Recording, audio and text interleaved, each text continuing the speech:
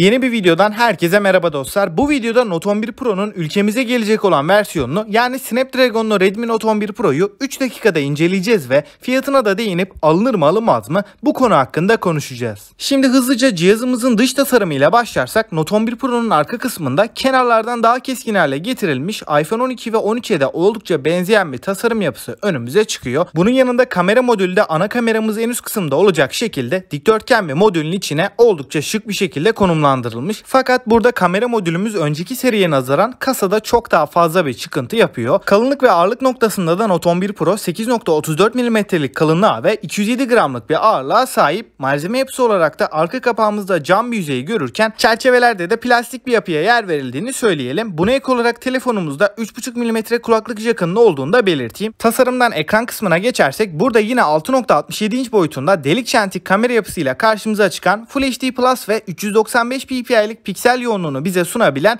120 Hz tazeleme bunun yanında 360 Hz gibi oldukça yüksek bir dokunma tepki hızı bulunduran kaliteli bir ekran önümüze çıkıyor. Samsung üretimi AMOLED panele sahip olan Note 11 Pro'nun ekranında görsel deneyimimizi daha da arttıran HDR10 ve DCI-P3 renk kuzeyi gibi teknolojileri görürken Yonga seti kısmında ise Redmi Note 11 Pro'da bu kez Snapdragon tarafının 750G işlemcisi karşımıza çıkıyor ve bu işlemcimizde 2 adet yüksek performans, 6 adet de verimlilik odaklı toplam 8 çekirdekli bir yapı önümüze sunulmuş. RAM kısmında da Note 11 Pro'da 6 ve 8 GB'lık versiyonlar bulunurken depolama alanı olarak da 128 ve 256 GB'lık iki farklı seçenek sunulmuş durumda. Redmi Note 11 Pro'nun detaylı testlerini de önümüzdeki haftalarda yapacağız. Şimdi isterseniz kamera kısmına geçelim. Arka tarafta üçlü kamera sistemini görürken ana kameramızda 108 megapiksellik bir sensör karşımıza çıkıyor. Bu kamera f1.89 diyaframla gelen 6 elementli lense sahip olan Samsung'un ISOCELL HM2 sensörüne yer verilmiş. İkinci kameramızda da 8 megapiksellik f2.2 ultra geniş açı kamerasını görüyoruz. Son olarak üçüncü kameramızda 2 megapiksel makro çekim kamerası. Ön kameraya baktığımızda ise burada delik çentiğin içinde 16 megapiksellik Full HD'de 30 FPS videolar çekebilen bir kamera karşımıza çıkıyor. Arka kamerayla ise video kısmında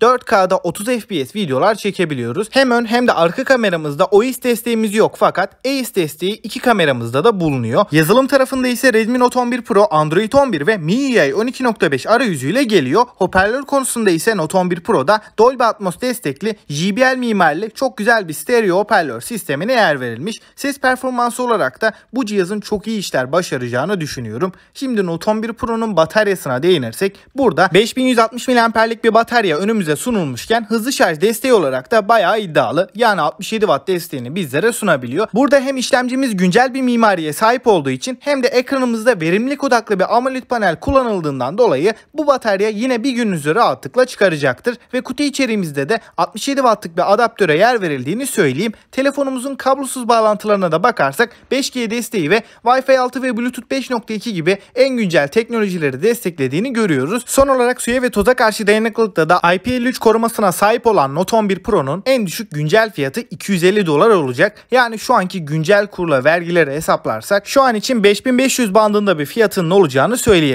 Eğer dolar da şu anki seviyelerde kalırsa Note 11 Pro'nun gayet alınabilir fiyat performans cihazı olduğunu düşünüyorum. Peki sizler Note 11 Pro hakkında neler düşünüyorsunuz? Alınır mı alınmaz mı? Görüşlerinizi yorumlar kısmında bekliyorum ve bu tarz teknoloji içeriklerinden haberdar olmak isterseniz alt taraftan abone olup bildirimleri de açmayı unutmayın ve bir sonraki video kadar hoşçakalın.